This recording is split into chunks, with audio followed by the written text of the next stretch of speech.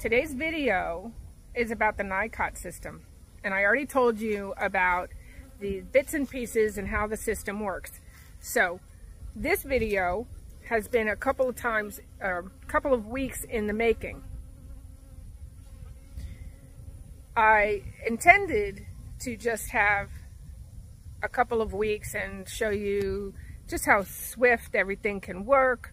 And, well, that's not how it happened. So, this video contains not just the introduction of the queen and into the hive, but it contains an introduction to two queens. I have um, a bank here and one or two that probably are queenless right here, so she's not happy. This video is shows you just the difficulty. I experimented and I thought maybe I won't show this, I'll cut it out, I'll do this, whatever, and make it a short, nice video. This video is on the longer side for me, and that's why. So let's get to it and I'll just begin the sequence.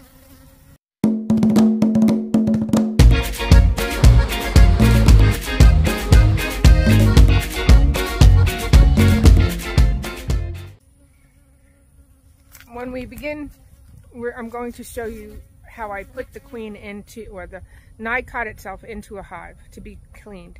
And then I find the queen and put her in. The first queen that I put into the box is not the queen that actually ended up laying in the box. So that's part of it. And hopefully I will be putting chapters in, you know, given my time constraints and my other duties as an actual beekeeper that will then show you how it all went. And then as today, I show you at the very end, I will show you just what did the builder think of what the NICOT gave me. the hive. And she's down below because the NICOT was put in with the brood.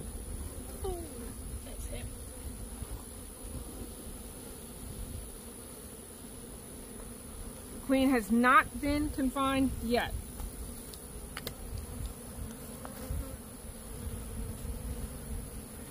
So it's been way too many days. I've had rain, dark, cold, and then I had queens come up, so certain things take priority. But either way, the NICOT should be well into being cleaned up and ready for her to be confined. And being that the NICOT is full of pieces, you've got to make sure you kept your piece that you need to put back on. All pieces intact and ready to go. So first things first will be to take the NICOT out.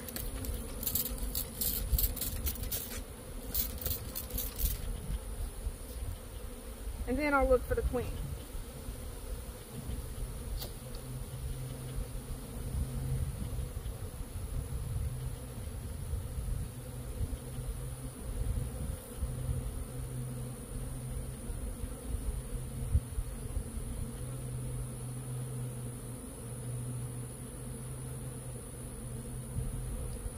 So there it is.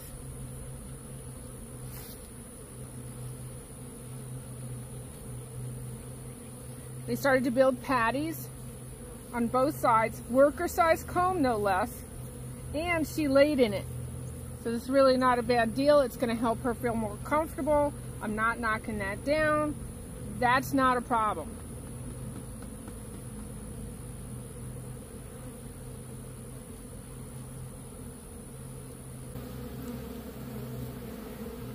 I can show you. There's all her laid out. Nice little eggs. It's beautiful. Nothing in here because it's plastic and she doesn't really want to lay in there. But at least there's no nectar. And this side's brand new and I don't see, well I see an egg or something there, but for the most part, they're just getting going.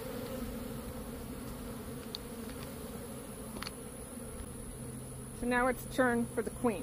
Put it to the side so you don't lose track of anything. There's eggs there, so I'm still assuming she's down below, even though she had free rein to go up into the hive.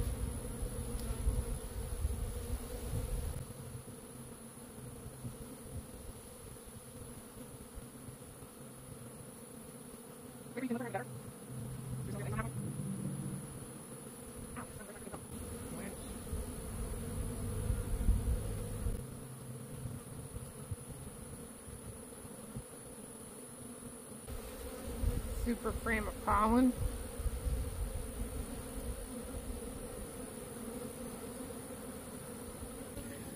So when I finally found her, she was in the second story, not in the first. She was in the second story, and she's laying. And there she is. So before I proceed to show you how to pick up a queen, first I want to just lay out my box and get it ready. So here's the box.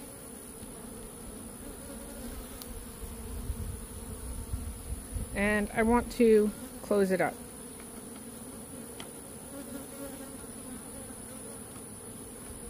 And I will pop her in this little hole.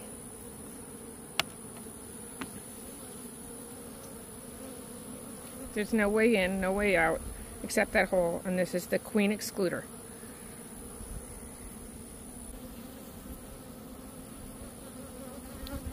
So when you go to grab a queen, you want to grab her by her thorax when possible.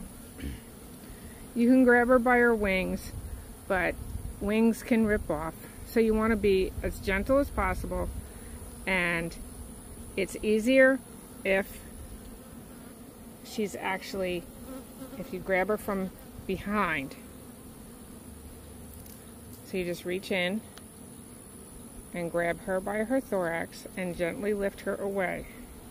Sorry.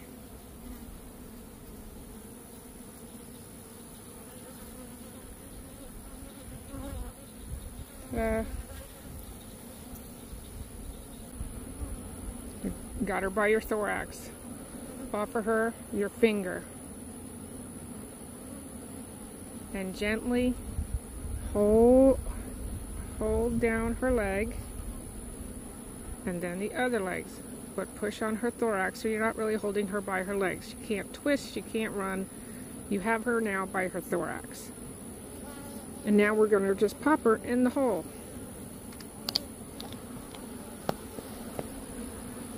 There's the hole. Here she goes. Head down and in. And there she is, running around.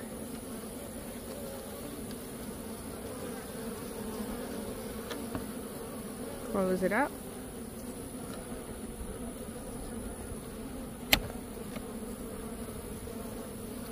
And there she is in there. She's going to be in there about four days. They now see her they want to take care of her. They're going to get in there and take care of her. And now it's the waiting game one more time for four days so that you can just pull the cells, put them on your graft bar, and we'll go on from there.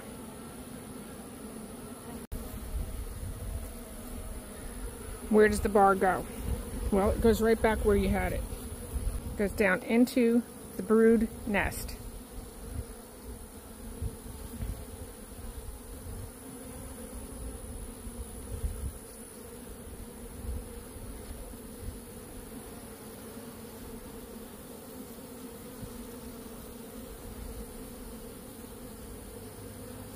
Feel comfortable there. She's got her eggs right next door.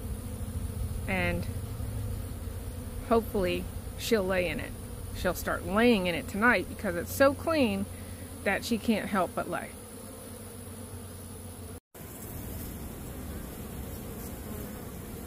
I've said it before, and I'm going to say it again. Some queens refuse to lay in this nicot. And this particular instance, I wasn't going to give up because I was making this video So I left her in there. So I have now very old larvae next to like one or two eggs, but nothing the size that I need. And I said they wouldn't cap, but they actually capped one or two. Where is it?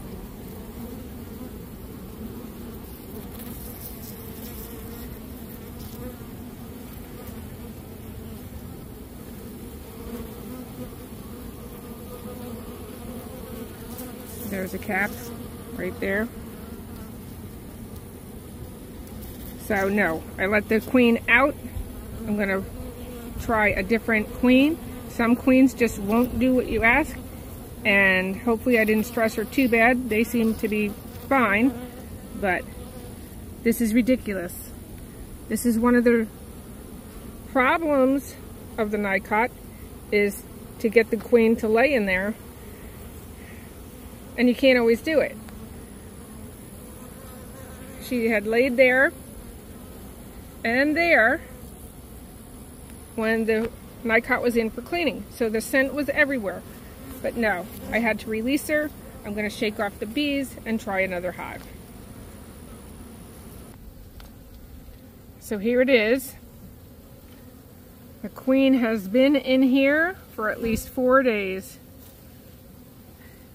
And for complete clarity, this is the second hive that I had to confine a queen in. I tried for two weeks with the other queen, both in and out and in and out, and she wouldn't lay. Some queens won't do this. It may not be anything that you're doing, but for whatever reason, they just cannot do this. This queen apparently has done fairly well. So I'm going to take it apart and see just how well. So you never want to shake any of these bees off here. If anything, you brush. You can hold the Nicot up to the light and kind of see what they've been doing in there.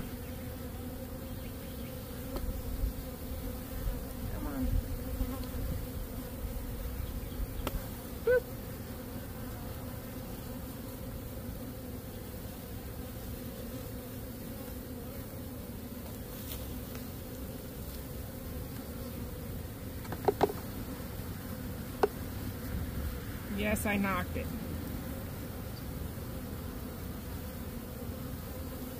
The queen just went in her little chamber there. And here she is, right here.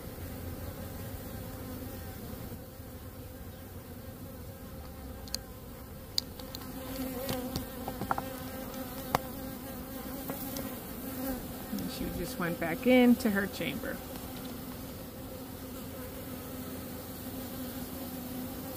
Is. In and out she goes. So she was fairly comfortable. She has lots of workers in there with her. And once I can get her out of there, I'm going to brush the bees and try to get a good shot of what is actually in there. And regardless, I'm just going to take what I can get and put it in a hot and in a builder. Here she comes.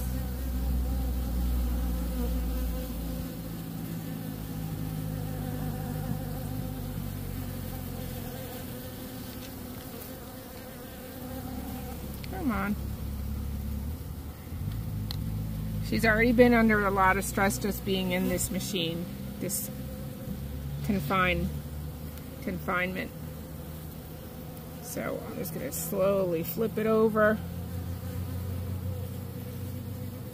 She may go out before I get the back off, but I'm going to take off the back.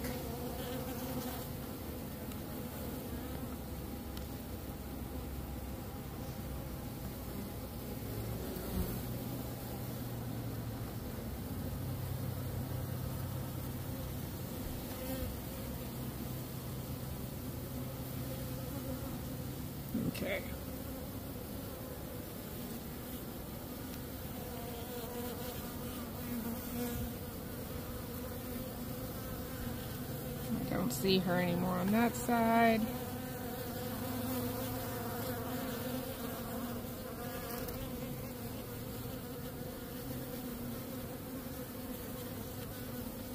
And you can see that they felt like they were queenless even though she was in the hive. So they have all these little starts of queen cells. Nothing to put in them. But, okay.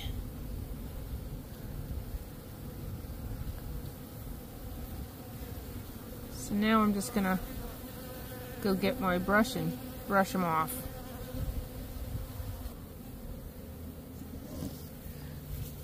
So don't shake the bees off here.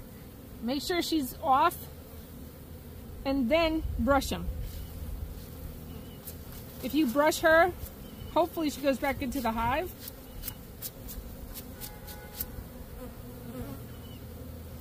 Don't be too gentle, you gotta just get them off.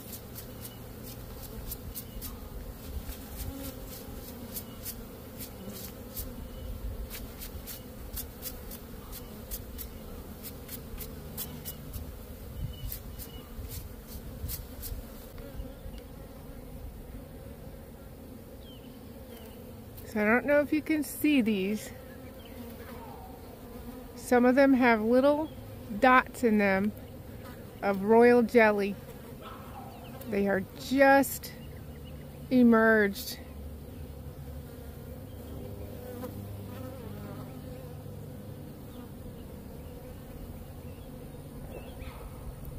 And if you have to, you have to get a set of goggles or something, some sort of jeweler's I use it for grafting. So if you use jewelers, if you use glasses, if you're younger, you have better eyes.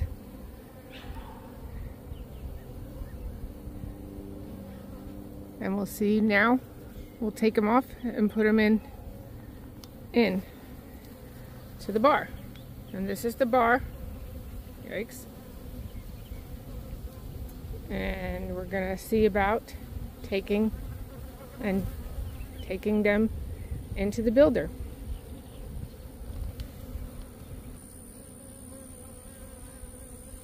Okay, this here is a wet t-shirt so that it doesn't dry out. These things are very, very tender and so you don't want them to dry out just in the short time that you're working. Take your white receiver cup, gently pull it off.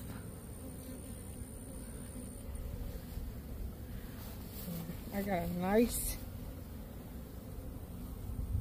there is an egg in there, but there's also the royal jelly, which also has a little larva. So she laid twice in there. I had her in probably five days.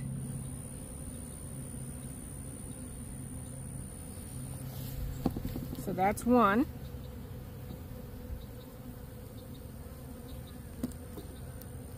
And probably what I'm going to do is just use one and transfer. And I do have a set of jeweler's glasses on so that I can see it.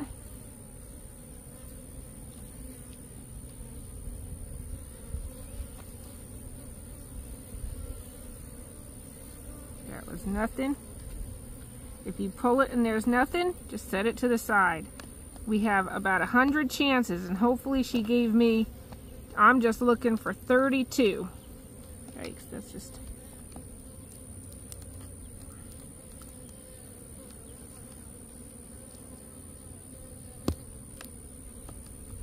you don't want to jostle them too much.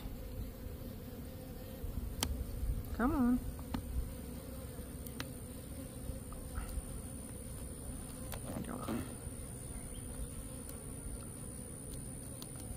Ay, ay, ay.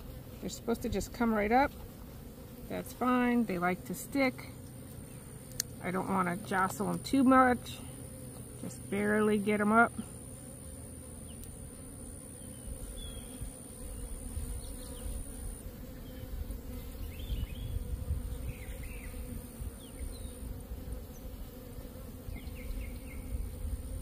Maybe the receiver cup was giving me trouble. I don't know.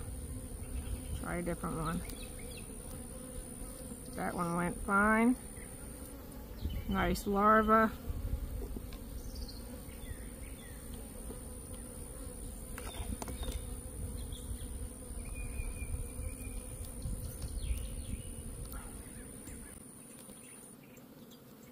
larva. Sometimes you can receive without in your hassle. That's the thing, gotta go to flow. Use the tools and then improvise your brain working. From the back, you can almost see the difference between a larva and an egg.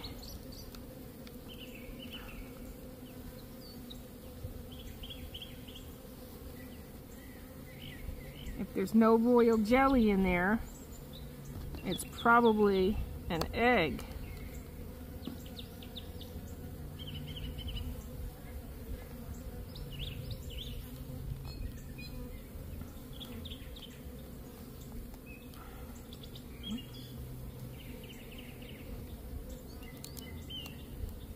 Come on.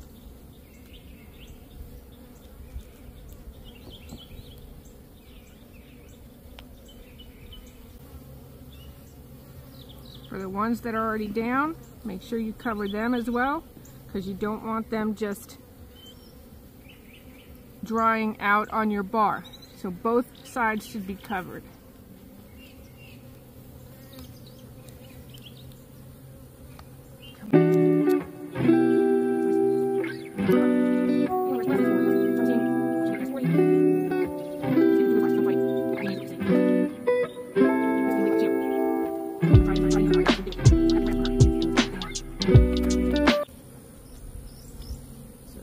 So good. We're doing great with larva. Like I said, keep them covered. Even in my humid swamp.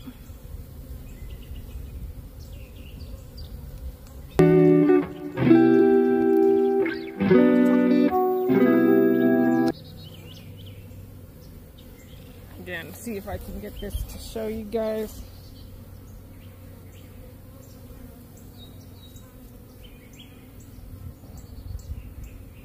See it in there. It's small. It's beautiful. So there, we just did 16 on that bar. We'll go to the next bar. I think I grabbed one or two eggs, which I will go back and get larvae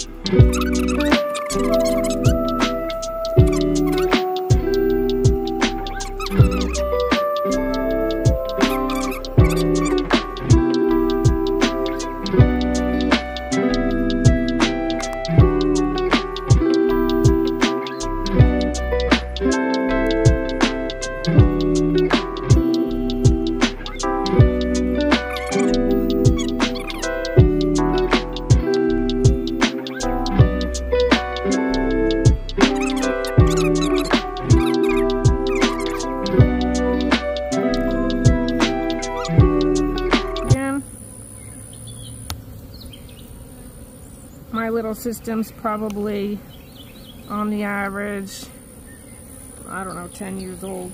So it might be a little warped. If you have a brand new one, it may work better as far as popping these out.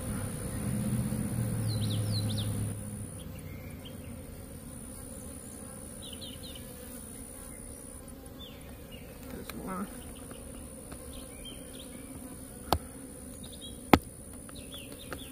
You just want to be careful when you hear that popping that you didn't just knock them right out. That's why you brushed them.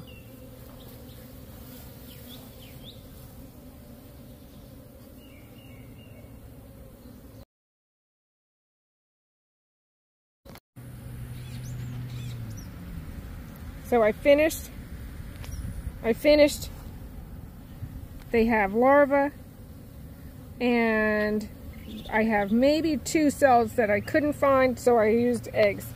And those eggs should be hours, hours away from emerging. So it won't bother me. So, jeweler's glasses, they make things clear that are teeny tiny. Get yourself a pair. Now, we put them in the builder. Make sure We keep them covered. Doesn't matter how wet you think your yard is, keep them covered. Keep them covered. It'll make sure that you don't have these tiny little things that just dry out on you. And we'll walk over to the builder. My phone cut off somewhere in the middle, so I don't know where I lost it. But I don't have time to go back because time is of the essence when you have the bar and you want to get everybody in there. So, my builder is down below. You don't want your bar to shake. You don't want it to fall. You don't want it to anything. Those little eggs, the larva can be fall out, can move, and just it'll ruin your graft. You want to be as gentle as you can. Let me put my hood on. And I'll show you my builder. This is the builder. She's full full.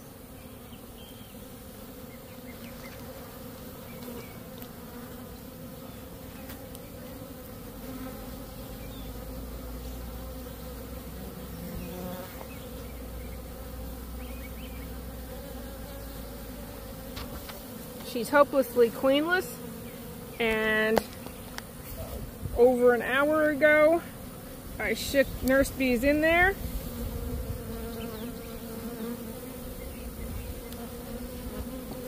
Hopefully they'll have nothing to do but take every single one of those larvae and make something out of it.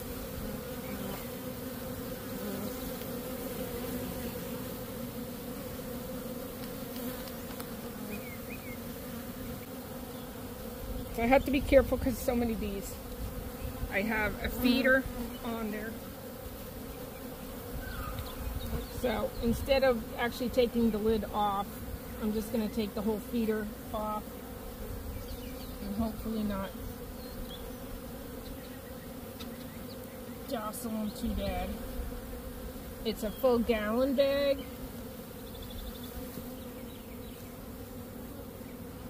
Same as any graft. Heavy. Hmm.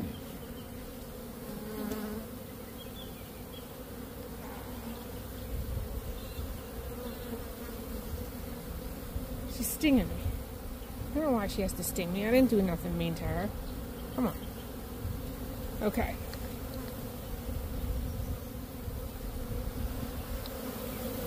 Here's the builder. Plenty of bees. She's got plenty of pollen. She's got a, a frame of pollen next to her. She's got some stores in there and I fed her and they're helplessly queenless. There better not be a rogue queen. I have double checked and redouble checked, but queens in a queen yard do fly in. So we pray that that doesn't happen. In your yard, it shouldn't. So now what do we do?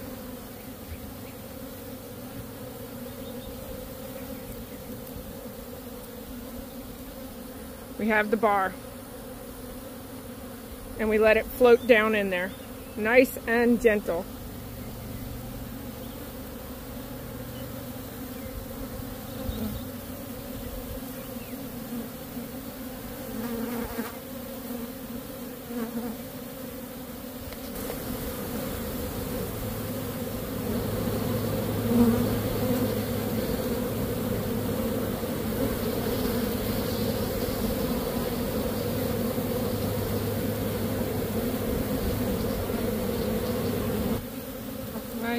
And.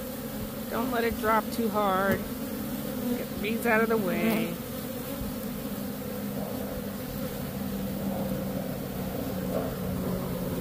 And that's that.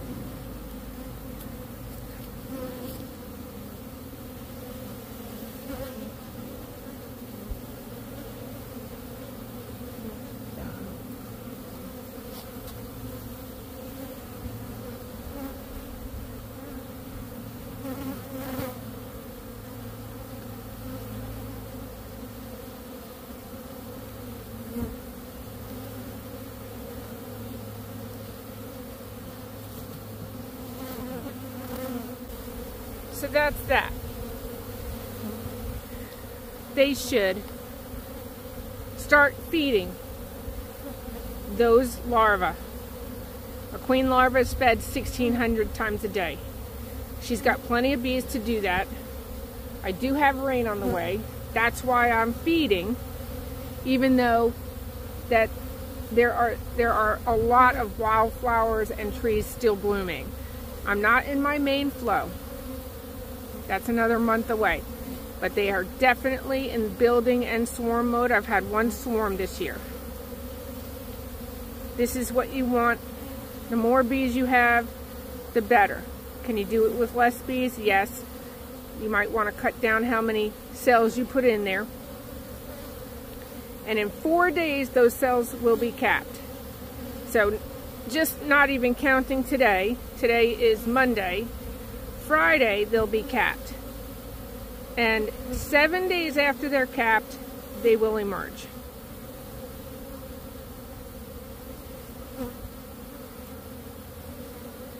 And until then, we'll, I'm going to come back. I'm going to wait on this video posting.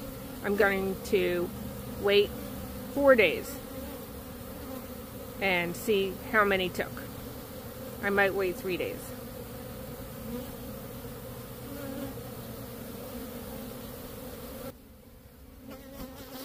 So the NICOT is a difficult task if the queen makes it difficult.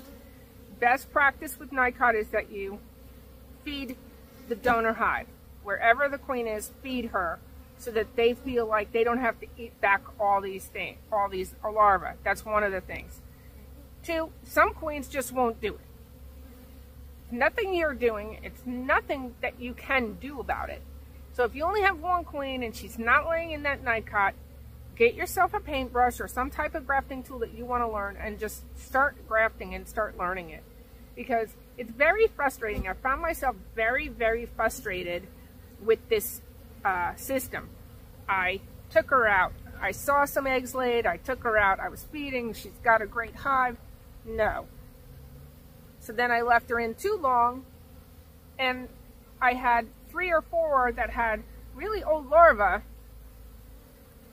but still no eggs, no tiny larvae. So I missed this weird window where five eggs that she had laid, they decided to feed. Five out of a hundred.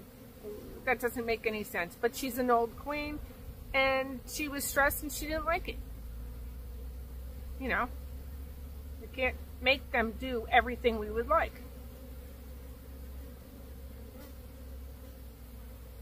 But the NICOT, if you have more than one hive to try to, to graft from, to, to try to do a queen, it, it does give you a little bit of leverage. You don't have to touch anything except the queen. Uh, but each has its drawbacks. So we'll wait three days, see how good they were. They were good larvae. And now actually this part is really not the NICOT and now this is the builder. And you should know how to build the builder. That's another video. I think I have one. This is day four. We put the NICOT in on Monday. This is Friday. The builder is rejoined with the mother hive. She's no longer on a queenless state. They're rejoining to be in a queen right state. But they should either be capped or nearly capped right now. So I'm going to see just what they did.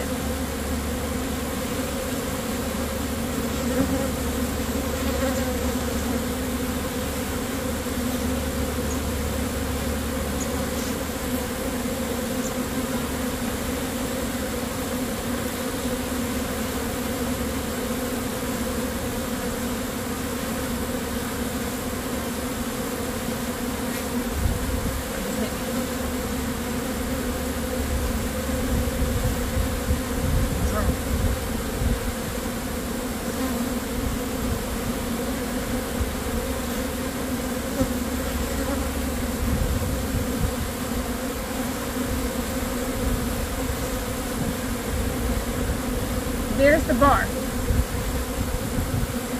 It looks like they had a really good take. But even under that curtain of bees may not be a cell. No. One, two, three, four, five, six, seven, eight, nine,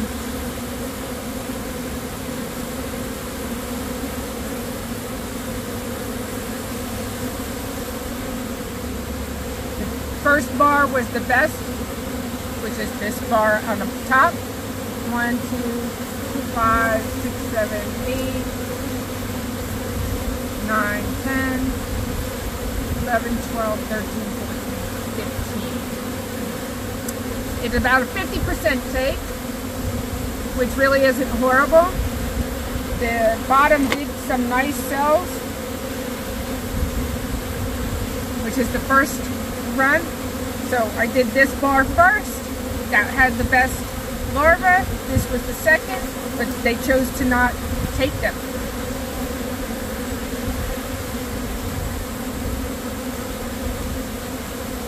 Obviously I had plenty of bees for them to do it.